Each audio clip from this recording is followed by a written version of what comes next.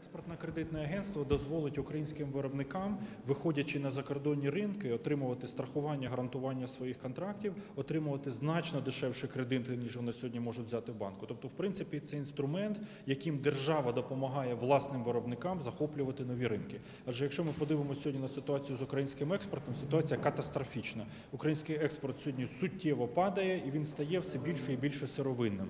Це означає, що торгівельний баланс е, негативний. Це означає, що гривня падає. Це означає, що ціни зростають. Для того, щоб цього не було, ми так само, як інші країни Європи, маємо створити експортно-кредитне агентство і допомагати своєму малому середньому бізнесу, своїм виробникам продавати свою продукцію за кордон. Бо коли ми будемо продавати продукцію за долар, за євро, готову продукцію а не сировину, тоді відповідно країна буде отримувати значно більше, бюджет буде отримувати значно більше. Відповідно, економіка буде зростати, а не падати, як вона падає сьогодні. Сьогодні ми експортуємо переважно е, з- залізорудну сировину, метал. Ми сьогодні експортуємо зерно в той час, як найбільший потенціал е, для країни і найбільше багатство країні приносять завжди в будь-якій країні. Це експорт машинобудівної продукції, це експорт it послуг інформаційних технологій, це фармацевтика, це легка промисловість, це харчова промисловість. І по цих позиціях ми сьогодні суттєво програємо. Тобто наш експорт з часом він стає все більше і більше сировинним, е, коли ми потребуємо розвитку високотехнологічних галузей.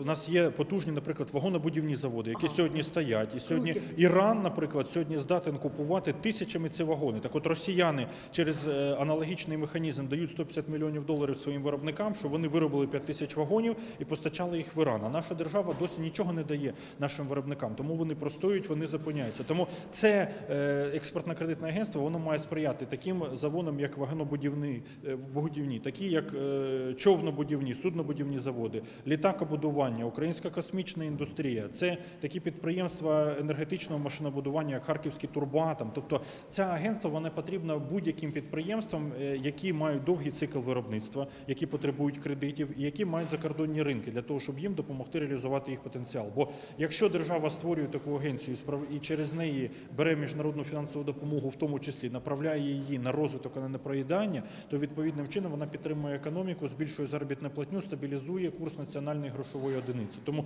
тим більше це європейська практика, і практично всі наші країни-сусіди мають такі агентства. Перше, це треба прийняти в другому читанні законопроект, ініційований нами з Олегом Ляшком, Сергієм Рибалкою про експортно-кредитне агентство. Сьогодні він вже прийнятий в першому читанні. Ми хочемо протягом місяця його прийняти вже в другому читанні. Другий крок це створення експортно-кредитного агентства Кабінетом міністрів. Третій крок це залучення для нього фінансування, в тому числі за рахунок міжнародної фінансової допомоги, за рахунок внутрішніх резервів бюджету. І четвертий крок це паралельне приєднання до відповідної міжнародної угоди е, з ОЕСД, яка дозволить цьому агентству працювати на єдиних правилах з усіма своїми світовими колегами. Це той мінімальний пакет заходів, який дозволить е, змінити тренд з падіння експорту на зростання експорту. Експорт це одна з головних складових економіки, яка визначає, якщо він позитивний, він значний, е, він зростає. Це високотехнологічна продукція, економіка зростає. Якщо експорт падає, стає все більш примітивним, як це сьогодні відбувається в Україні, то економіка відповідно занепадає. А сьогодні ті підприємства простоють, де вони сьогодні можуть брати кредити. Ці кредити є абсолютно недоступними. Банківська система по суті поламана. Вона не сприяє розвитку реального сектору економіки. Залежно від того, скільки е, коштів вдасться залучити на функціонування цього агентства, буде залежати його ефект. Адже коли ми кажемо, наприклад, про Німеччину, то там 40% нових робочих місць машинобудування забезпечується за рахунок цього експортно-кредитного агентства. Коли ми кажемо про Канаду, то в Канаді таке експортно-кредитне агентство на рік дозволяє створювати додатково 60 мільярдів доларів ВВП. Це щоб собі ви уявили масштаби. Весь ВВП України сьогодні трошки більше 80 мільярдів доларів. Тому воно грає ключову роль в економіці багатьох країн світу. І сьогодні ми потребуємо в Україні створити такий інструмент і залучити на нього в тому числі міжнародну фінансову Скажіть, будь ласка, якщо цей е, законопроект через місяць буде е, фінансований, скільки часу треба, щоб це агентство запрацювало? Це буде залежати від ефективної роботи кабінету міністрів. Е, Я абсолютно впевнений, що ми маємо всі можливості вже цього року створити експортне Цього кредитне агентство для того, щоб воно почало працювати, для того почало підтримувати українських експортерів. Це типу банк. Дякую. Це спеціально.